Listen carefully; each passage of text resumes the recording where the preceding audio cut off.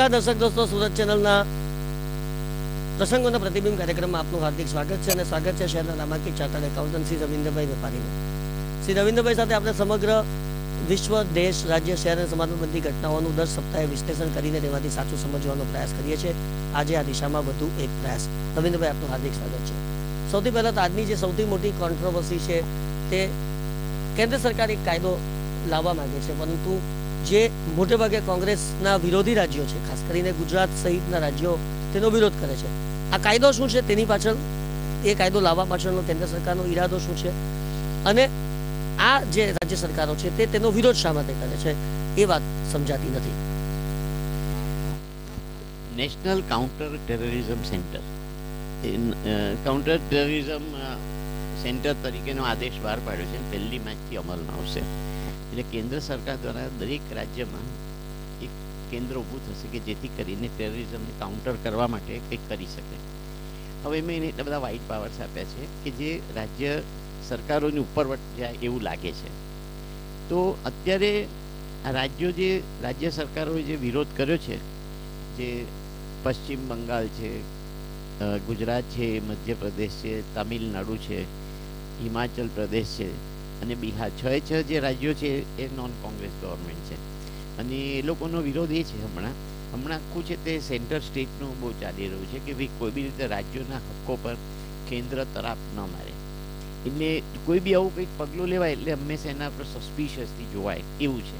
બાકી મારી દ્રષ્ટિએ આ જે હોમ મિનિસ્ટરે કર્યું છે ચિદમ્બરમે, એ બરાબર છે. કારણ કે જો કોઓર્ડિનેટેડ તમારે કાઉન્ટર ટેરરિઝમ માટે કરવું હોય તો એક એવી સત્તા હોવી જોઈએ કે જેની પાસે બધું રહે. અત્યારે બધી ઇન્ફોર્મેશનની આપલે થાય બધું બરાબર છે, પણ જે રીતે પરિસ્થિતિ વણસતી જાય છે, એટલે કેન્દ્ર સરકારનું આ પગલું શુભનિષ્ઠાવાળું નથી, એ કેવું ખોટું છે. મારી દ્રષ્ટિએ રાજ્યોએ આટલો બધો વિરોધ ન કરવો જોઈતો હતો એમાં એવું લાવવાનું હતું કે બી રાજ્યો સરકારોને અમુક જાતના રાઇટ્સ રહે આ તે બધું મૂકવાની જરૂર. એમ મારું માનવું છે. પણ આ જરા વધારે પડતું. મુદ્દો એ જ હંમેશા રહેતો હોય છે કે રાજ્ય સરકારને હંમેશા એવું લાગતું હોય છે કે કેન્દ્ર પોતાની સત્તા ઉપર, રાજ્યની સત્તા ઉપર તરાપ મારવા માંગે છે આ પ્રકારના કાયદાઓને લઈને અને એટલા માટે જ આ બધી સમસ્યાઓ ઊભી થતી હોય છે અને મૂળભૂત કારણ આપણા રાજકારણની જે ઇનમેચ્યોરિટી છે તે છે કે દરેક વિરોધ પક્ષ એમ જ માને કે શાસક પક્ષ અમારી સાથે વિકાસના કાર્યમાં સાથે નથી. અને દરેક શાસક પક્ષ એમ જ માને છે કે વિરોધ પક્ષ માત્ર વિરોધ કરવા માટે જ સર્જાયેલો છે, જેનું આમ પણ કોઈ સોલ્યુશન હોતું નથી. કાર્યક્રમમાં આગળ વધીએ દર્શક મિત્રો અને પાછું એક વધારે એ છે કે કોંગ્રેસનો ઇતિહાસ એવો રહેલો છે કે જ્યારે કોંગ્રેસ પાસે બધી જ રાજ્યો લગભગ હતા, ત્યારે કોંગ્રેસ બે ધડક એમાં હસ્તક્ષેપ કરતી હતી અને પોતાનું બાજુ ચલાવતી હતી અને રાજ્યો સ્વીકારી લેતા હતા, કારણ કે કોંગ્રેસના સેન્ટર પાસે એક વસ્તુ સત્તા હતી. એટલે આ જ વસ્તુ બિન કોંગ્રેસ રાજ્ય સરકારો સ્વીકારે નહીં છે. પણ એટલું બધું કરતી હતી વધારે પડતું કે કોંગ્રેસના આવા કોઈ બી પગલાં સામે એની લીધે શંકા એટલે સરકારે બી પોતાની નિષ્ઠા બતાવી જોઈએ કે ભઈ અમારે આ નથી. આને માટે પહેલેથી ચર્ચાઓ કરવી જોઈએ રાજ્ય સરકાર જોડે કે આવું અમે કરવા માંગીએ છીએ. અને તમને કંઈ વાંધો છે? તમારા કંઈ સૂચનો છે? અને પછી લાવવું છે આમ બોમ્બશેલ નાખી દીધો એ બરાબર. દર્શક મિત્રો કાર્યક્રમમાં આગળ વધીએ અને આપણા એપિસોડના કેન્દ્રમાં હંમેશા જે રીતે હોય છે તે રીતે મિસ્ટર મોદી વગર આપણો એપિસોડ અધૂરો રહે. નરેન્દ્રભાઈ મોદીની આજુબાજુની કેટલીક વાતોને આપ સમજવાનો પ્રયાસ કરી જો પહેલી વસ્તુ તો સદભાવના મિશન પૂરું થયું અને ધાર્યા પ્રમાણે નરેન્દ્ર મોદીએ જોઈતી ગાજવીજ બી કરી દીધી કે મેં એમાં આટલું થયું આટલા લોકો પાર્ટિસિપેટ વગેરે. એ વાત તો જવા દો પણ પ્રશ્ન જે નરેન્દ્ર મોદીને માટે હંમેશા તકલીફ કરનારો એ છે કે અઠ્ઠાવીસ ફેબ્રુઆરીથી જે રાઇટ શરૂ થયા, એ સત્તાવીસ ફેબ્રુઆરી જે મિટિંગ કરી, એમાં નરેન્દ્ર મોદીએ શું કરેલું એને માટે જાત જાતના મત મતાંતર છે, સંજીવ ભટ્ટ અને બીજા લોકોનું જાણે એવું કેવું છે કે નરેન્દ્ર મોદી એવું કીધું ભાઈ કે તમે કરજો હિન્દુઓને પણ એ લોકોની ફિલિંગ્સ બતાવવાની તક આપજો. એટલે ટૂંકમાં મારવા દેજો. એટલે આ વસ્તુની કોન્ટ્રોવર્સી ચાલતી હતી, એવું કહેલું, નહીં કહેલું કહેલું, નહીં કહેલું. હરેન પંડ્યાએ એક વખતે એવું કહેલું કે આવું કહેલું હતું અને પછી એમનું મૃત્યુ થયું. એટલે એ એવા શંકાસ્પદ એમાં વાતાવરણ કે ભાઈ એને લીધે એમનું બી આપણે મૃત્યુ, એમની બી હત્યા કરવામાં આવી છે. ખરું હોય કે ખોટું ખબર નથી. પણ આમાં એવું છે કે કોઈ કે સંજીવ ભટ્ટ તો હતા જ નહીં મિટિંગમાં અને અત્યારે એવી પરિસ્થિતિ આવી કે જસ્ટિસ એચ સુરેશ જે રિટાયર થયા, તે વખતે અહીંયા ઇન્કવાયરી માટે આવેલા. એમણે સ્ટેટમેન્ટ કર્યું છે કે હરેન પંડ્યા મને આ કહેલું કે આવું કહેલું હવે આમાં થાય છે શું કે હરેન પંડ્યા તો આજે છે નહીં. જનરલી જસ્ટિસ કે એટલે એને હંમેશા થોડું આપણે વચન આપીએ. જો કે બધા જસ્ટિસો એવા હોતા નથી, કારણ કે એમાં બાયસિસ ને બધું આવતું હોય છે. પણ આવું જ્યારે કહે ત્યારે જે એક આક્ષેપ છે કે નરેન્દ્ર મોદીએ આ કરવા દીધું. કારણ કે જો નરેન્દ્ર મોદી સામે ત્રણ પ્રકારના આક્ષેપ છે. કાં તો એમણે કીધું, કરો, બેઠો છો. બીજું કે, કરતા હતા ને આપણે આંખ આડા કાન કરે ત્રીજું કે, પહોંચી નહીં વળ્યા તો અત્યારે જે ત્રીજું છે, એની વાત આવી કે ગુજરાત હાઈકોર્ટે બી વચ્ચે કહ્યું કે ભાઈ, તમે ઇનએક્શન રહ્યો તમે જે કરવું જોઈએ કરી નહીં શક્યા અને તમે આ બધું ડેમેજ થવા દીધું વગેરે. એ કોર્ટે કીધું. પણ પહેલાં પર આવી ગયું કારણ કે જસ્ટિસ સુરેશના એના પ્રમાણે સત્તાવીસ ફેબ્રુઆરીમાં જ એમણે એક જાતનો ગ્રીન સિગ્નલ આપી દીધેલો કે પોલીસને કે તમારે મેં વચ્ચે પડવું નહીં. તો એ મારી દ્રષ્ટિએ એમને માટે ઘણું ભાવરે પડશે ઘણું અઘરું પડશે. કાર્યક્રમ આગળ વધ્યા અને કોંગ્રેસ માટેના કપરા ચઢાણની શરૂઆત થઈ ચૂકી છે અને તેના અણસાર મળી રહ્યા છે મહારાષ્ટ્રની અંદર જે વિધાન પરિષદો અથવા તો નગર પરિષદોની જે ચૂંટણી. આમ કોંગ્રેસનો હાથ ઉપર રહ્યો છે જે ઓવરઓલ રિઝલ્ટ જોઈએ તો. પરંતુ જે મુખ્ય શહેરો છે, ખાસ કરીને મુંબઈ, થાણા નાગપુર પૂના પૂનાની અંદર તો જે અત્યારે લેટેસ્ટ માહિતી નથી, પરંતુ મનસે ફર્સ્ટ નંબરના પક્ષ તરીકે આગળ આવ્યું છે. રાજ ઠાકરે એ ખૂબ ઊંડાણપૂર્વક કામ કર્યું તેવું લાગે છે. અને દરેક જગ્યા પર તેનો કી રોલ રહેશે તેવું અત્યારે તો લાગી રહ્યું છે. મહારાષ્ટ્રની અંદર જે બીજી આ ચૂંટણીની અંદર મેં ધરા જોઈ, તેમાં અન્ય, અન્યની સંખ્યાઓ પણ બહુ મોટી છે. એટલે અન્યમાં અપક્ષો પણ હોઈ શકે, ત્યાંના કામદાર અઘાડી પક્ષો પણ હોઈ શકે. અને એ પ્રકારના પક્ષોનો પણ ત્યાં મોટા પાયા પર સમાવેશ થતો છે. તમે લગભગ દરેક રિઝલ્ટ જુઓ તો એમાં અન્યની સંખ્યા પણ ડબલ ડિજિટની ઉપર જ હોય છે, જે મોટે ભાગે ગુજરાતની અંદર આપણે નથી જોવા મળતી. નારાયણ રાણે પોતાનો આક્રોશ ઠાળવ્યો છે કે મારો ઉપયોગ જો કરવો જોઈએ તો તે નથી થયો. પૃથ્વીરાજ ચૌહાણ કદાચ કાચા પડી રહ્યા છે, એટલા માટે કે એ એક બહુ સીધો માણસ છે, તેને બદલે કાબેલ અને જેને કહી શકાય તેવા ખૂંખાર એવા સુશીલ કુમાર શિંદે અથવા તો વિલાસરાવ દેશમુખ હતે, તો કદાચ વધારે પરિણામો જુદા હતે. એવું અત્યારે તો કોંગ્રેસને પણ લાગી રહ્યું છે. ભાજપ શિવસેના માટે ખૂબ સુંદર સમાચારો છે, કારણ કે વધુ એક વખત ઠાકરે યુગની શરૂઆત થશે. અને ઉદ્ધવે તો કહ્યું છે કે જે પણ કહે છે તે બાલ ઠાકરેના આશીર્વાદને કારણે થયું છે. જો કે એક બીજી કોન્ટ્રોવર્સી એ પણ ઊભી થઈ છે કે શિવસેનાને આ રીતના વિજયી બનાવવામાં ભાજપનો બહુ મોટો હાથ છે તેવું ભાજપ પોતે તો કહે છે, પણ લોકો પણ કહેતા રહ્યા છે. કારણ કે ભાજપ પાસે એવા વ્યક્તિઓ છે. માનું છું કે આના પર થોડું વધારે વિશ્લેષણની જરૂરિયાત છે. તમે કહ્યું ને ગુજરાતમાં જુદું પડે છે ને આ જુદું પડે છે એનું કારણ એ છે કે ગુજરાતમાં તો બે જ પક્ષો છે. એટલે બીજા કોઈનું કોઈ આમાં ચાલતું નથી. જ્યારે મહારાષ્ટ્રમાં ઓલરેડી ચાર પક્ષો છે. કોંગ્રેસ, એનસીપી, શિવસેના અને બીજેપી. શિવસેના અને બીજેપી સાથે રહ્યા છે ને એનસીપી ને કોંગ્રેસ સાથે રહ્યા છે. એમાં પાછું શિવસેનામાંથી ફાંટો પડીને મનસે રાજ ઠાકરેનો થઈ ગયો. અને રાજ ઠાકરે બી આ વખતે જેને કે કાઠું કાઢ્યું છે. એટલે પણ નવાઈની વાત એ છે કે એમણે જે કાઠું કાઢ્યું છે તે બીજેપી, શિવસેના યુતિના એના પર નહીં, પણ કોંગ્રેસના એટલા મતો ઘટી ગયા છે. એટલે આમ જો જોઈએ તો જેને ભગવો પક્ષનો કહેવાય, તેનો તો જોર વધ્યું જ છે. કેમ કે મનસે તો શિવસેના કરતાં બી વધારે એ બાબતમાં સ્ટ્રોંગ છે. પણ હવે અત્યારે એવું થશે કે કોઈ કોઈ કોર્પોરેશનોમાં એવું બેલેન્સમાં મનસેનો થોડો હાથ રહેશે, જેને કિંગ મેકર તરીકે. પણ મુંબઈમાં એવું નહીં રહે, જે ધારતા હતા. જોકે મનસે પોતે ખુશ છે એના જે રીતે એના પરિણામો છે. હવે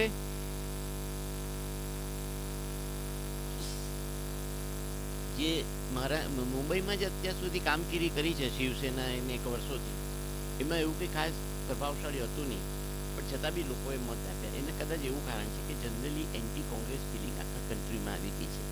આ ટુ છે કે જે હોય દન્નાને લીધે કે બધાને લીધે, એક એવી પરિસ્થિતિ થઈ છે લોકો કોંગ્રેસથી વિમુખ અને જ્યારે કોંગ્રેસથી વિમુખ થાય ત્યારે બીજા ઓલ્ટરનેટિવ તરફ જાય તેમ એનસીપીમાં બી ગયા નથી એટલા એટલા માટે કે NCP is part of Congress UPA એટલે એ અસર થઈ અને ખરેખર કોંગ્રેસે બહુ જ ગંભીરતાથી વિચાર કરવાનો છે કે આ જે પહેલાં જે સિગ્નલો છે એની ક્યાં ક્યાં અસર થશે ઓફકોર્સ એ લોકો વધારે અગત્યતા તો યુપીએના જે યુપીના ઇલેક્શનને આપશે પણ આ મારી દ્રષ્ટિએ બહુ મોટી વસ્તુ બની રહી છે હું અંગત રીતે માનું છું કે ગમે એટલી રિજનલ પાર્ટીઓ થાય, પણ છેલ્લે તો નેશનલ પાર્ટીઓ સ્ટ્રોંગ રહેવી જોઈએ. નહીં તો પછી એટલી બધી જાતના કોએલિશન્સ થશે કે જેમાં કોઈ પણ જે રાષ્ટ્રીય ધારા પ્રમાણે જો વિચારણા નહીં થાય, તો સરવાળે એમાં નુકસાન થશે. હવે આપણે નક્કી કરીએ અને આપણે વિચારીએ બધા વિચારતા નથી. દાખલા તરીકે તમે એમ કહો કે ભાઈ ત્યાં બીજેડી જ આવે ક્યાં? ઓરિસ્સામાં. વેસ્ટ બેંગાલમાં તૃણમૂલ આવે. તામિલનાડુમાં તો ડીએમકે પક્ષો જ આવે. આ એક તમે વિચારતા જાઓ. અહીંયા ત્યાં અકાળી દળનું જોર હોય પંજાબમાં. અહીંયા શિવસેનાનું હોય. એટલે બધે જ regional parties are quite strong અને એ જે સ્ટ્રેન્થ છે, એનું કારણ કે એનું પોતાનું ખાસ મતદાર વર્ગ છે, કે જેને આપે છે. અને એ તો મતદાર વર્ગ જ્યાં સુધી બેમાંથી એક પક્ષમાં ન ખેંચાય, ત્યાં સુધી આ ઘટક પક્ષો જે રિજનલ પક્ષો થવાના, એ આ કોઇલિશનમાં જાય કે તે કોઇલિશનમાં જાય ભાઈ અસ્થિર કોઇલિશન આવશે. અને જે મનમોહન સિંહે કહ્યું કે એમ કમ્પલ્સન ઓફ કોઇલિશન કે વાજપેયીને હંમેશા નાયડુ પજાવતા રહે એટલે કે આ આપો, તે આપો અને વાજપેયી આપતા જતા હતા. અને યુપીએમાં હંમેશા ડીએમકે માંગ્યા કરતો હતો. ડીએમકે તો જો કે ચોખ્ખા પૈસા જ માંગતું હતું. રાજ્ય સરકાર માટે, રાજ્ય માટે નહીં, પોતાને માટે તે બી કોંગ્રેસે આપવા પડતા હતા. જે કેબિનેટનો પોર્ટફોલિયો. આ બધી વસ્તુઓ જે બની છે, એ એકંદરે યોગ્ય નથી થતી. અને જે લોકશાહીની આપણે ત્યાં જે ઇતિહાસ આગળ જવો જોઈએ, એમાં મોટો વિક્ષેપ કરી શકે એમ, એવું મારું માનવું કાર્યક્રમમાં આગળ વધીએ અને સુરત અને સુરતની આજુબાજુની કેટલીક વાતોને સમજવાનો પ્રયાસ કરીએ. બે મહત્વની ઘટનાઓ આ એપિસોડ જ્યારે ફાઇલ થઈ રહ્યો છે ત્યારે આપણા શહેરમાં ચાલી રહી છે. એક તો આજે આપણે જ્યારે બેઠા ત્યારે શનિવારની સવાર છે. દેશભરના આચાર્યોનું રાષ્ટ્રીય અધિવેશન યુનિવર્સિટી ખાતે શરૂ થઈ ચૂક્યું છે. કુલપતિ ડૉક્ટર દક્ષેશ ઠાકર વિશે ચોક્કસ આપણે એવું કહી શકીએ કે એમના આવ્યા પછી આ પ્રકારની પ્રવૃત્તિઓની અંદર જબરદસ્ત વેગ આવ્યો છે. Because is having his own dynamism એમની અસરકારક વક્તૃત્વ કળા પણ એક બહુ જ એને માટે જવાબદાર છે તેમ કહી શકાય. અને એમની વિચારવાની શક્તિ પણ ખૂબ સારી છે. એવું અત્યારે પહેલી નજર આવ્યું છે. જો તેઓ વધુ રાજકારણના રંગે ન રંગાય, તો એક સારા કુલપતિ ત્રણ વર્ષ માટે આપણને મળશે એવું નિશ્ચિત બની શક્યું છે. બીજી મહત્વની ઘટના તે સુરત બિલ્ડર એસોસિએશનનો પ્રોપર્ટી શો. હવે સુરત બિલ્ડર એસોસિએશન ક્રેડાઈ સુરતના નામે ઓળખાય છે. અદ્ભુત કહી શકાય તેવું પ્રદર્શન. એટલા માટે કારણ કે મને બરાબર યાદ છે કે આ પ્રોપર્ટી શોની બોલી બોલાવવામાં આવી હતી. એના સ્પોન્સરશિપ માટેની બોલી. આ જમાનામાં સ્પોન્સરશિપ લેવા માટેના ફાંફા પડતા હોય છે. મોટે ભાગે તમારે મસ્કા મારવા પડતા હોય છે. કે જરા રવિન્દ્રભાઈ, પચીસ લાખ સ્પોન્સર બનવાના આપજો નહીં, એટલે તમે નાખો. પછી કે ના ના, તમારે તો બનવું જ પડે. એટલે તમે કહો, ચાલો હવે ઠીક છે, બનીશું. પરંતુ આમાં આખી જુદી વાત હતી. મુખ્ય સ્પોન્સર બનવા માટે કો સ્પોન્સર બનવા માટે અલગ અલગ જગ્યાઓ ઉપર બેનરો મૂકવા માટેની બોલી બોલવામાં આવી અને એ બોલીની અંદર એમણે જે રકમ વિચારી હતી તેના કરતાં પાંચ ગણી વધારે રકમ તેઓને પ્રાપ્ત થઈ હતી. એટલે એ માહોલ પહેલેથી જામ્યો હતો. અને નેચરલી બોલીની અંદર તમે એક રકમ અપેક્ષિત કરી હોય તેના કરતાં પાંચ ગણી રકમ આવે તો ખર્ચો પણ એ રીતના તમે વધારે કરી શકો. આજે તમે જો દરેક છાપાઓની અંદર જાહેરાતોથી છેલ્લા કેટલાય દિવસોથી એસબીએનો પ્રોપર્ટી શો? છવાઈ ગયો છે. અને આ તો એક એ લોકોના પોઈન્ટ ઓફ વ્યૂની વાત થઈ. ગ્રાહકના પોઈન્ટ ઓફ વ્યૂથી તમે જાતે જ્યારે મુલાકાત લીધી છે, ત્યારે તમને પણ એ વિશેનો ખ્યાલ આવ્યો છે કે આવા પ્રોપર્ટી શોને કારણે શું ફાયદો થાય છે? દર્શક મિત્રોને આ વાત આ બધું મને ખબર નથી કે બોલી બોલાયેલીને આટલો બધો એનો ભાવ મળ્યો, પરંતુ એક વસ્તુ નિશ્ચિત છે કે એક તો આ જાતના પ્રદર્શનો વર્ષોથી એમ કહેવાય છે કે પ્રદર્શનોથી જ હંમેશા લોકો બીજાના પ્રોડક્ટથી જાણતા થાય. પ્રદર્શનનો હેતુ માત્ર માલ ખપાવવાનો નથી. પણ ગ્રાહકોને વધારે તમે સારી વસ્તુ આપી શકો છો અને ગ્રાહકોને એક જાતનું એમાંથી બેનિફિટ મળે છે એવું દેખાય. તમે વિચાર કરો, એક ગ્રાહક છે. ગમે તે લો લેવલ પર એને ખરીદી કરવી કે હાઈ લેવલ પર કરવી છે. પણ એક જ જગ્યાએ એક જ સામટું, એમાં પાંચ, સાત, દસ ઓપ્શનો તમને જોવા મળે, તો એને જે ચોઈસ છે એ કેટલો સારો મળી શકે. બીજું કે જ્યારે આટલા બધા ઓપ્શન મળે, ત્યારે એની કોમ્પિટિશન થાય. કે હું વધારે સારો પૂછું છું. મારામાં પેલું વધારે લાઇટ વધારે આ ફેસિલિટી વધારે આ એમિનિટી આણે વિચાર્યું નથી. હું આ વિચારું છું. આ મારી, બધું ઘણું આવી શકે. અને દરેક જણ એ સ્ટ્રેસ કરે. એટલે આ પ્રદર્શનમાં તો best comes out of it અને the best is brought out હવે આ પ્રદર્શનમાં મેં ખાસ નોંધ્યું કે આખું સોફિસ્ટિકેશન અને હાઈટેક આજે તમે જુઓ તો જે રીતે એક એક સ્ટોલ રાખેલો હતો દરેક જણે, એમાં જે રીતની રચના હતી તે આકર્ષક હોય લોકોને એમ થાય કે ના, કંઈ નથી લેવું તો બી કંઈ જોઈએ. અને જોઈએ અને જે જાતનું જે લિટરેચર આપવામાં આવતું હતું, એનાથી બી લોકોને ઘણું સારું લાગતું હતું. કદાચ આટલા બધા સારા કપડાઓમાં સેલ્સમેનો નહીં ઊભા રહેતો તો ચાલતે. પણ એ સિવાયની વાત જોઈએ, તો પણ આખો જે માહોલ હતો, એ ગ્રાહકોને આકર્ષવા માટે હતો ને ગ્રાહકોની પાસે એટલી બધી વસ્તુઓ મળી શકતી હતી. એટલે મારી દૃષ્ટિએ આ જે શો ઓર્ગેનાઇઝ કર્યો છે, એ સારું છે.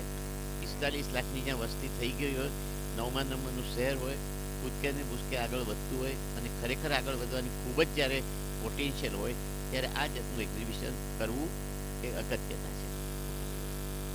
હા, તમારી વાત ખરી છે. આપણા વાઇસ ચાન્સલર સાહેબ ઉત્સાહી છે, વિચારશીલ છે, એમની વક્તૃત્વ કળા સારી છે. Is a good coordinator good organizers અને બિકોઝ ઓફ ડાયનામિઝમ આવું કંઈક કર્યા કરે છે. એટલે જ્યારે નેશનલ કોન્ફરન્સ આચાર્યોની થાય આચાર્ય એટલે એ લોકો આજે શ્રેષ્ઠ છે. સારામાં સારું શિક્ષણ આપવાવાળી સંસ્થાઓના હેડ જ્યારે ભેગા થાય રાષ્ટ્રના, ત્યારે એમાંથી ખરેખર સારી વસ્તુઓ નીપજે. અને એમાંથી આપણે માનીએ છીએ કે એ પ્રમાણે નવનીત આપણને મળશે કે જેથી કરીને આખા રાષ્ટ્રમાં, આપણે ગુજરાતની જ વાત ન કરીએ, પણ કઈ રીતે નવી દિશા શિક્ષણમાં જવી જોઈએ, એનો કોઈ કંઈક આમાંથી નિર્દેશ મળશે. શિક્ષણ એટલી બધી અગત્યની વસ્તુ છે. પછી એ ગમે તેમ પ્રાઇમરી હોય કે ઉચ્ચ શિક્ષણ હોય, પણ દરેક ક્ષેત્રે આપણે ઘણું કરવાનું છે. સ્કિલ ડેવલપમેન્ટ છે ક્વોલિટી ઇમ્પ્રુવમેન્ટ છે. અને હું ચોક્કસ માનું છું કે આ જે કોન્ફરન્સ છે એમાંથી આપણને સારું માર્ગદર્શન મળશે. કાર્યક્રમમાં આગળ વધીએ અને કેટલીક દેશ વિદેશની ઘટનાઓને પણ સમજવાનો પ્રયાસ કરીએ. એક તો ઇન્ફ્લેશન ઘટ્યું છે, એ બહુ મોટી વાત છે. અને એની સાથે સાથે સુપ્રીમ કોર્ટના જે એક પછી એક ચુકાદાઓ આવતા જાય છે અથવા તો સુપ્રીમ કોર્ટ હમણાં મીડિયાને કારણે કો તો મીડિયાને કારણે, અથવા તો ચુકાદાને કારણે, અથવા તો ચુકાદાને કારણે. ખૂબ લાઇમલાઇટની અંદર છે. તમામ લોકોને એની માહિતીઓ સતત મળતી રહે છે અને સુપ્રીમ કોર્ટ પર સૌની બાજ નજર રહેતી હોય છે. તો આ બે ઘટનાએ ફુગાવો અને સુપ્રીમ કોર્ટ ફુગાવો તો જેમ જેમ સપ્લાય સારા હમણાં જ શરદ પવારે કીધું કે એટલું મોટું વિપુલ પ્રમાણમાં અનાજનું ઉત્પાદન થયું છે. એ આપણે માટે સારી વસ્તુ છે. સારો ચોમાસું ગયું, બધી રીતે સરસ ગયું. ફાયદો મળ્યો એટલે એનીથી પહેલી અસર થઈ છે કે ઇન્ફ્લેશન ઘટ્યું છે. આપણે ઈચ્છીએ કે આ ઘટેલું ઇન્ફ્લેશન હજી ઘટે અથવા એ લેવલ પર તો રહે જ અને પાછું વધે નહીં. કારણ કે એનાથી બધા જે આર્થિક પ્રશ્નો છે, આર્થિક સમસ્યાઓ છે, એના પર સારા પરિમાણો આવી શકે એમ છે. બીજું જે સુપ્રીમ કોર્ટમાં એક હમણાં બહુ જ કોન્ટ્રોવર્શિયલ ચુકાદો ચાલે છે. એમાં જે દિલ્હી હાઈકોર્ટે ચુકાદો આપેલો બે હજાર નવમાં, એમાં અત્યાર સુધી જે હોમોસેક્સ્યુઆલિટી કહેવાય છે એના ઉપર સેક્શન થ્રી સેવન્ટી પ્રમાણે સોરી સેક્શન હું ભૂલી ગયો. એમાં ગુનો ગણાતો હતો અને એમાં ક્રિમિનલ ગણાતું હતું. તો એનું ઇન્ટરપ્રિટેશન કરતાં દિલ્હી હાઈકોર્ટે કીધું, આમાં કશું છે જ નહીં એવું કે જે આ સેક્શનમાં આવી શકે. એ ચેલેન્જ થયો. હવે આ એટલા માટે અગત્યનો છે કેમ કે આ ઇસ્યુ ખાસા ઇન્ડિયામાં નહીં પણ વર્લ્ડ ઓવર ડિસ્કસ થાય છે. અને જે અમેરિકાની કોંગ્રેસની ચૂંટણીઓ છે, એમાં અમુક રાજ્યો તો આ બાબતમાં બહુ એ છે કે આ તો જોઈએ જ નહીં. આ વસ્તુને કોઈ દાડો ઉત્તેજન અપાય. નહીં તેમ કેટલાક રાજ્યો માને છે. એટલે પક્ષોએ બી પોતે એ નક્કી કરવું પડે કે અમે શું કરીએ. કેમ કે એમ તો નહીં કહેવાય કે કરો જ કે ન કરો. એટલે ઓલ ઓવર ધ વર્લ્ડ આની ઇમ્પોર્ટન્સ છે. જોકે યુરોપની જે સોસાયટી છે, એ કમ્પેરેટિવલી ફ્રી સોસાયટી છે. એટલે ત્યાં વસ્તુ સ્વીકારાય છે. પણ ભારતમાં પણ હવે એવું થયું છે કે આ થવું જોઈએ. એટલે અત્યારે જે દિલ્હી હાઈકોર્ટનું જજમેન્ટ બી એમાં એટલું સરસ હતું. સુપ્રીમ કોર્ટે જે કહ્યું, એમાં એણે જે શબ્દ પર સવાલ પૂછે કે this is not against the order of nature why is not against the order of nature તમે જ્યારે ટેસ્ટ ટ્યુબ બેબીઓની વાત કરો સરોગેટ મધરહુડની વાત કરો, તો આમાં શું ખોટું છે? એટલે જે જાતની સુપ્રીમ કોર્ટના જજીસની ક્વેરી આવી રહી છે, એટલે અત્યારે એવું લાગે છે કે એ લોકોનો ચુકાદો દિલ્હી હાઈકોર્ટને એમાં જ આવશે. આ અગત્યનું એટલા માટે છે કે આજથી વીસ, પચીસ વર્ષ પહેલાં વસ્તુ બોલાતી નથી એની સામે ટેબુ હતો કે આવું બોલાય બી નહીં. તો એ બધી વસ્તુઓમાંથી ક્લોઝેટમાંથી બહાર આવશે લોકો. અને એક જુદી રીતે એ લોકોની દ્રષ્ટિએ જે કુદરતી એ જીવન જીવતા દર્શક કાર્યક્રમમાં આગળ વધીએ અને ઉત્તર પ્રદેશના ઇલેક્શન વગર તો આપણી વાત અધૂરી નહીં જાય એપિસોડ પણ અધૂરો રહી જાય અને ખૂબ રસપ્રદ તબક્કાની અંદર, રોમાંચક તબક્કાની અંદર ઉત્તર પ્રદેશનો જંગ હવે આવી ગયો છે. મને તો સૌથી વધારે નવાઈ લાગે કે બાકીના ચાર રાજ્યોમાં ચૂંટણી જે પતી ગઈ છે અને જેના પડીકા થઈ ગયા છે, એ ઉમેદવારોની માનસિક દશાનું શું થતું હશે, એ ખરેખર બહુ આશ્ચર્યનો વિષય છે. જે મહારાષ્ટ્રમાં ચાર પક્ષો છે તેમ ઉત્તર પ્રદેશમાં બી ચાર પક્ષો છે. ફેર એટલો છે કે મહારાષ્ટ્રમાં જે ચાર પક્ષોમાં બબ્બેની યુતિ છે. એટલે છેલ્લે તો બે જ સામસામા લડે છે. હવે આમાં એવું છે કે દરેક પક્ષે બહુ જોર ભરો કીધું. અમે બીજા કોઈ પક્ષ જોડે સમાધાન નહીં કરીએ રાહુલ ગાંધી બરાબર કીધું, અમે લુચ્ચાને એ લોકો જોડે નહીં કરીએ. અને કંઈક મુલાયમસિંહથી એવું કહેવાય ગયું કે ભાઈ, અમે કોંગ્રેસ જોડે કદાચ બેસીએ. પછી કે ના ના, એવું બધું નહીં, એ નહીં ચાલે. અમે એવું કહેતા નથી. પછી શું છે કે એટલા બધા સામસામાં આક્ષેપો થાય છે કે આ લોકો કે કોંગ્રેસે બધું કે આપણે કઈ દાડે કશું વચન પાડ્યા છે અહીંયા કે ત્યાં? અને રાહુલ ગાંધી એવું કીધું કે આ સમાજવાદી પાર્ટીનો મેનિફેસ્ટો છે તો ખાલી ચિત્રાજનો જેમ કે કાગળ ફાડી નાખ્યો. અને એના પર પેલા અખિલેશ યાદવ એવું કીધું કે આટલો બધો ગુસ્સો નહીં કરવાનો વધારે ગુસ્સો કરશે કોઈ સ્ટેજ પરથી કૂદી પડશે. ટૂંકમાં આ દરેક વસ્તુના કંઈ કંઈક ચાલ્યા કરે છે. પણ મેં નવું તત્વ છે સલમાન ખુરશીદે ઉમેરેલું અને ગઈ વખતે આપણે ચર્ચા કરેલી એ હતી કે મુસ્લિમોને અત્યારના જે ઓબીસી છે, એમાંથી સબ કોટ આપવો પછી કીધું કે ભાઈ આવું તમારે પોલિસી ડિસાઇડ માટે આવું બોલાય નહીં, કારણ કે ચૂંટણી આચાર સંહિતાની વચ્ચે આવે છે. તો સલમાન ખુરશીદે કીધું કે ઇલેક્શન કમિશન મારું જે કરવું કરે, હું તો આ કહીશ જ. પછી એને બધાએ વાર્યો. હવે એને નહીં વાર્યો એટલે વેણી પ્રસાદ બર્મા બીજા યુનિયન મિનિસ્ટરે કીધું કે ના, આમાં ખોટું શું છે? એમ જ થવું છે. ઇલેક્શન કમિશનને જે કરવું કહી દે. આ એક સ્ટ્રેટેજી છે. જો તમે સમજી લો ઇલેક્શન કમિશનને અટકાવશે. ઇલેક્શન કમિશનની એમ કહેવાય કોંગ્રેસ પાર્ટી કે આવું નહીં બોલવું પણ આમ બોલી, બોલીને તમે મુસ્લિમ હતો હાંસલ કરી શકો. કારણ કે તમે કહો મેં અમે તો પહેલેથી કહેતા અમને બોલતા અટકાવ્યા. બાકી અમારે આ જ કરવું હતું અને કાજે એ લોકો નહીં ચૂંટાય, તો બી કહે અમે તો કરતે જ. જો અમે તો પહેલેથી કહેલું અમે ઇલેક્શન કમિશનની વિરુદ્ધ જઈને બી કહેલું અમે શું કરીએ? અમને તમે ચૂંટ્યા નહીં. એટલે it is a very good strategy કે જાણે છે આ મિનિસ્ટરો કે અજાણે છે? ઇલેક્શન કમિશનના શું પાવર્સ છે? એટલે આ ચૂંટણી સંહિતા શું છે, એની કઈ રીતે એમાં રહેવું જ જોઈએ એની મર્યાદામાં. પણ જાણી કરીને આ સ્ટેટમેન્ટો કરવામાં આવે છે કે જેથી કરીને મુસ્લિમ મતોનું પોતાની જે વોટ બેંક છે એ ખીલવી શકે. પરંતુ છેલ્લું જે સ્ટેટમેન્ટ છે કે આટલું બધું રાહુલ ગાંધી કરે છે, તો પણ હમણાં છેલ્લું સ્ટેટમેન્ટ આવ્યું કે અત્યાર સુધી તો યુપીનો ગઢ જીતવાની વાત હતી, પણ હવે આવ્યું કે ના, અમે જોઈએ તો ઓપોઝિશનમાં બેસીશું. એટલે કોંગ્રેસે લગભગ એવું જાહેર કર્યું કે અમે ચૂંટાઈ શકવાના નથી. આ બાજુ બીએસપી છે, જેના ચાન્સીસ ઘટી રહ્યા છે એવું લાગે છે, પણ એ કોઈ એવું સ્ટેટમેન્ટ કરતી નથી. બીજેપી તો કશું બોલતી જ નથી. અત્યારે જો સૌથી વધારે જો એક સરખું જો વિખવાદ કે બકવાસ થતો હોય, તો કોંગ્રેસ અને સમાજવાદી પાર્ટીનો. અને ખબર નથી છેલ્લે કોણ કોની જોડે બેસી જશે, કારણ કે ત્રિશંકુ આવશે તો કોઈ કોઈ જોડે બેસવું જ પડશે.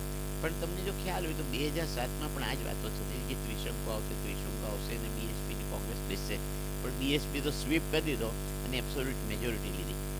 આ બધા જે ઇલેક્શન પહેલાના જે અનુમાનો થતા હોય, એના પર બહુ આધાર નહીં રાખવાનો. ઇલેક્શન થશે, પછી શું થશે? કોણ લુચ્ચાઓ જોડે બેસવાનું છે? કોણ ગુંડાઓ જોડે બેસવાનું છે? કારણ કે દરેક જણ એકબીજાને લુચ્ચા, ગુંડા ક્રિમિનલ એલિમેન્ટ રાખનારા. અને હમણાં એક છાપાના રિપોર્ટમાં જોયું. તો દરેક પાર્ટીમાં અમુક કેન્ડિડેટો છે જેવા. વીસથી પચીસ ટકા વધારે કે જે લોકોના ક્રિમિનલ રેકોર્ડ છે. એટલે કોઈ પક્ષ એકબીજા પર આક્ષેપ મૂકી શકે એમ નથી. અને હવે જોઈએ છેલ્લે ચૂંટાઈને શું આવશે. ગુજરાતના રાજકોટમાં શું થઈ રહ્યું છે? રાજકોટમાં મેં વાંચ્યું કે વોરા કમ્યુનિટી કમ્યુનિટી કિચન ચલાવે છે. એટલે શું? ઘરેની રસોઈ કરવાની. કમ્યુનિટી કિચનમાંથી લઈ આવવાની. કદાચ કોન્ટ્રીબ્યુશન આપતા હશે. પણ એની પાછળનો હેતુ બહુ સરસ છે કે સ્ત્રીઓ પોતાના બાળકો માટે વધારે ધ્યાન આપી શકે અને કંઈ નોકરી કે ધંધો કરી શકે. એટલા માટે રાખે. હવે આમાં આપણે જ્યારે જોઈએ છે કે વોરા કમ્યુનિટી આજે ધંધો કે કશામાં કેમ આટલી આગળ છે, તો એ લોકોનું આખો આખો જે લક્ષ્ય છે એ તરફ છે કે કઈ રીતે આગળ આવો તમે એ જે સ્ત્રીઓ છે એ કેટલી ભણેલી હોય છે, કેટલી સોફિસ્ટિકેટેડ તેનું બી કારણ સમજવા જોઈએ કે ત્યાં આખો માહોલ એ રીતે છે કે આ બધું એમાં કરવું જોઈએ. હવે દેખી રીતે બહુ નાની વસ્તુ છે, પણ તમે જે કલ્પના કરો કે આ પ્રમાણેનું કરવામાં આવે. ફોરિનમાં આ વસ્તુ એક રીતે બીજી રીતે પ્રચલિત છે કે તમે પરદેશમાં બહાર ખાઓ, તો બહારનું ખાવાનું સસ્તું બી હોય અને મોંઘું બી અને સારું જો હાઇજીનિક હોય, જે આપણે ત્યાં નથી હોતું. એટલે આપણે ત્યાં તો બધાને ગરમ ગરમ રોટલી કરી આપી, તે જ પત્ની હોવી જોઈએ, સારામાં સારો ગણાય, પછી એનું જે થવાનું જ થાય. એ સંદર્ભમાં ગોરા કમ્યુનિટીનો નિર્ણય જે રાજકોટમાં છે જેનો અમલ થયો છે, એ ખરેખર જ વિચારવા જેવો છે અને બધાએ વિચારવું છે કે આ કરવા જેવું છે. કાર્યક્રમમાં આગળ વધી અને board cricket control board of India અને સહારા વચ્ચેનો જે જંગ હતો અથવા તો એક અચાનક એક એવી કટોકટી આવી ગઈ હતી કે સહારાએ બિલકુલ ક્રિકેટ સાથે છેડો ફાડી નાખ્યો હોય તેવું આપણને લાગતું હતું. ઇવન એ લોકો પુણે વોરિયર્સ જેના એ લોકો માલિક છે, તે ફ્રેન્ચાઇઝી પણ છોડી દેવાની એ લોકોની તૈયારી હતી. જો કે તે દિવસે લાગતું હતું કે આ એક નાટક સાબિત થશે અને સમાધાન થશે, કારણ કે આટલા કરોડ રૂપિયાની સ્પોન્સરશિપ બીસીસીઆઈ પણ ન છોડે.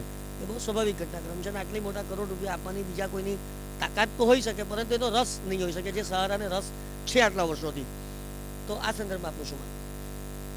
જુઓ હવે ક્રિકેટની જ્યારે વાતો કરીએ, ત્યારે ક્રિકેટ એટલે ઇન્ડિયામાં પૈસો થઈ ગયો છે. કોણ કેટલા પૈસા ખર્ચી શકે છે, કોણ કેટલા પૈસા કમાઈ શકે છે, અઢળક અઢળક રકમો આવે છે. હવે સહારાને વાંકું કશે પડ્યું? એટલે એ લોકોએ કીધું, અમે બીસીસીઆઈમાંથી નીકળી જઈને, અમે હવેથી સ્પોન્સરશિપ નહીં આપીએ. ત્યારે બીસીસીઆઈ બી કહી દઉં, જાઓ, થાય તે કરી લો. પણ તમે કીધું એમ જ છે કે છેલ્લે તો આવી જ જવાનું હતું. અને એણે કીધું, અમને તો પેલો રવિન્દ્ર જાડેજા જો અને જે હોય તેવી બધી ગાંડા જેવી શરતો ઓપ્શનમાં કોઈ માણસ લઈ ગયો પણ મને લાગે છે કે બીસીસીઆઈ લગભગ બધી શરતો સ્વીકારી લીધી અને સહારા પાછું જોડાઈ ગયું છે. પણ આમાં એક જ સમજવા જાય છે કે આખું ક્રિકેટ અને ખાસ કરીને બીસીસીઆઈ કે આઈપીએલ જે છે, એમાં સૌથી વધારે મહત્વ છે તે પૈસાનું થઈ ગયું અને આપણે એના અત્યારે દુષ્પરિણામો જોઈ રહીએ છીએ કે આપણા પ્લેયરો બી એમાં એટલા રંગાયેલા રહે છે કે એ લોકો પોતાના જે મેઇન વસ્તુ છે રમત ઉપરથી થોડા દૂર થઈ ગયા છે. જે ઇંગ્લેન્ડમાં અને પછી ઓસ્ટ્રેલિયામાં જે આપણા ધબડકા થયા તે ચોક્કસ સૂચવે છે. ઈરાનની વાત કરીને આપણે આજની વાતને સમાપ્ત કરીશું. ઈરાન ઉપર સેન્કશન્સ મૂકીને ધીમે ધીમેની અસરો થવા માંડી છે. પણ ઈરાન એની સાથે એનાઉન્સ કરી દીધું કે અમે આપણે ન્યુક્લિયર એમાં આગળ વધ્યા છીએ ને અમે તો ખૂબ જ વધને લીધે ખાસ કરીને ઇઝરાયલમાં ફફડાટ છે. ઇઝરાયલમાં એટલા માટે ફફડાટ છે કે ઈરાને એમ કીધું કે પહેલો ઉપયોગ અમે ઇઝરાયલ સામે કરીશું ઇઝરાયલ સામે છે સાથે અમેરિકાને મીર ફફડાટ છે પણ ઈરાનને જે ટેકો છે તે ચીન અને રશિયાનો છે એટલે ઈરાન થોડું જોરમાં છે પણ છતાં બી ઇકોનોમિક સેન્કશન આગળ કોઈ ટકી નથી શકતું એટલે એમાં ઈરાને બે વસ્તુ સામટી કરી દિલ્હીમાં અને બેંકોકમાં ઇઝરાયેલી કોન્સ્યુલેટ કે એના વાહનો પર હુમલા સાથે જ કર્યા. અને એ કરવામાં આપણે કેમ અસરકારક થાય છે? કે ભાઈ ગમે ત્યાં કરવા તો અમારે ત્યાં શું કામ કર્યા કારણ કે basically Iran is our friendly power આપણે અમેરિકાને બી ડિફાઈ કર્યું કે ભાઈ, અમે તો ત્યાંથી ઓઇલ લઈશું અમે ક્યાં જ લઈ જવા જેમ યુરોપિયન કન્ટ્રી ના પાડી દીધી કે અમે ઓઇલ નહીં લઈએ. પણ આપણે તો કીધું, અમે તો જોઈશું ને, અમે ત્યાંથી લઈશું જ. એટલે, અને બીજું કે ઈરાન સામેની જે સેન્કશન કે કંઈ બી હોય, એમાં આપણે હંમેશા ઈરાનનો થોડો ટેકો આપ્યો છે. પણ એ છતાં બી, જ્યારે ઈરાન તરફથી આપણા રાષ્ટ્રમાં ઇઝરાયેલી કોન્સ્યુલેટ પર કે એના વાહનો થ્રુ હુમલો થાય, એ યોગ્ય નથી. એટલે હવે દિલ્હીએ અથવા જે મિસ્ટર, મિનિસ્ટર ઓફ એક્સટર્નલ અફેર્સે બહુ જ ટાઈટ રોપ વોકિંગ કરવું પડશે. ઈરાનને છેડાશે બી નહીં અને છતાં બી ઈરાનને કહેવું પડશે કે જે કરવું તે કરો, પણ અમારે ત્યાં નહીં કરો. અમને આમાં ઇન્વોલ્વ નહીં કરો. તમારે ઇઝરાયલ જોડે જે કરવું હોય તો ફોડો. અને ઇઝરાયલે બી કીધું છે કે ઇન્ડિયામાં શા માટે કર્યું આવું જે કે કરવું છે? અમારા બી ઇન્ડિયા જોડેના સારા રિલેશન છે અને કદાચ ઇન્ડિયા અને ઇઝરાયલના ગ્રોઈંગ રિલેશન્સ છે એ બી ઈરાનને ખટકતું હોય. એ બી કોઈ કારણ હોઈ શકે. જોઈએ શું રહી ગઈ કે સુરત એરપોર્ટ પર કાર્ગો અને સુરત એરપોર્ટની વાત કરીએ તો થોડીક વાત મારે વિશેષ માહિતી ઉમેરવી છે કે હવે આવનારા ત્રણ મહિનાની સુરત મુંબઈની જે ફ્લાઇટ છે એ ફૂલ થઈ ગઈ છે. આપની, આપને બંનેને જે કેમેરામાં કેદ કરી કરી રહ્યા છે તે ડિમ્પલભાઈ હમણાં જ સુરત મુંબઈ મુંબઈ સુરતની રિટર્ન ટ્રીપ અમને પત્રકારો માટે ખાસ વિશિષ્ટ સવલતો આપવામાં આવી હતી એ તેઓ માણીને આવ્યા છે. અને એ was so much happy was so much surprise કે શું ગાનપણ છે સુરતના લોકોનું? હું માનું છું કે હવે સુરતને આ દિશાની અંદર કોઈ રોકી શકે તેમ નથી. કોઈ એરલાઇન્સ ટ્રાફિક માટેની કોઈ પ્રકારની ચિંતા કરવાની જરૂરિયાત નથી. અને એને કારણે એક ફુગ્ગો એવો ફૂટે છે કે ક્યાંક કશેક ખોટું આપણે માટે ચાલતું હતું, તો જ આવું બાકી જે કારણ આપવામાં આવતા હતા ટ્રાફિકની વાતો કરવામાં આવતી હતી કનેક્ટિવિટીની વાતો આપવામાં આવતી હતી, બધી જ વાતો અત્યારે તો વાહિયાત સાબિત થઈ રહી છે. અને સુરતને આટલા વર્ષોનો જે અન્યાય છે, તેનો હવે ઘણી ગણીને બદલો સુરતના લોકો લઈ રહ્યા છે. આ તો મને ખબર નથી કે ત્રણ મહિના ત્રણ મહિનાની ફ્લાઇટો બુક થઈ ગઈ તો ખરેખર અભિનંદનને પાત્ર. કદાચ બીજી એરલાઇન્સો બી વિચાર કરે અને કદાચ કોમ્પિટિશનમાં આપણને સારા ભાવ મળે. પહેલાં તો તમને અભિનંદન કે તમને લઈ ગયા છે પણ એક વસ્તુ છે કે સુરતની જે જાતની અગત્યતા વધી રહી છે દરેક ક્ષેત્રમાં, એ જોતાં આ નિર્ણય ઘણો મોડો લેવાય છે નિશ્ચિત છે. અને તમે જે કહ્યું કે સુરતમાં ક્યાં છે ટ્રાફિક થવાનો જ નથી, એ બધી વાતો ખોટી પુરવાર થઈ. અને ખોટી પુરવાર થાય જ. કારણ કે તમે નાના નાના શહેરોમાં જ્યારે આટલા બધા વિમાનો દોડતા હોય અને સુરત નાના હોય કેમ ચાલી શકે? અને જે કનેક્ટિવિટી સ્પાઇસ છે તે સધર્ન સ્ટેટમાં આપી છે કે બેંગ્લોર, મેંગ્લોર, ગોવા, એ બાજુ, કે તમે આ બધું કલકત્તા સુધી, જેમ દિલ્હી, તો એ જોતા ટ્રાફિક થવાનો જ અને ધીમે ધીમે આપણે જોઈશું કે સુરતમાં લોકો એ તરફ જશે. અને એમાં વધારાનું એક ખુલી રહ્યું છે કે હવે સ્પાઇસ જેટના સીઈઓ આવી રહ્યા છે, કે કાર્ગો ટ્રાફિક માટે શું કરવું? જો કાર્ગો ટ્રાફિકનું થાય તો મને લાગે છે હીરાનો સૌથી મોટો એ લોકોને મળી શકે. એમ છે કે હીરા એ હાઈ વેલ્યુ અને લો વેઇટના કાર્ગો હોય છે. તો એને લીધે આખું ઘણું બધું કામ એરલાઇન ઓથોરિટીઝને એમાંથી આવશે એ નક્કી છે. ચલો દેટ્સ એ ગુડ ડેવલપમેન્ટ તો દર્શક મિત્રો, ખૂબ સરસ વાતો, ખૂબ ઘટનાઓનું સારું વિશ્લેષણ રવિન્દ્રભાઈ દ્વારા. નવા સપ્તાહમાં નવી ઘટના સાથે રવિન્દ્રભાઈ સાથે ફરીથી મળીશું. ત્યાં સુધી આપના દોસ્ત નિખિલ મદ્રાસી અને ડિમ્પલ બંગડીવાલાને રજા આપશો. નમસ્કાર.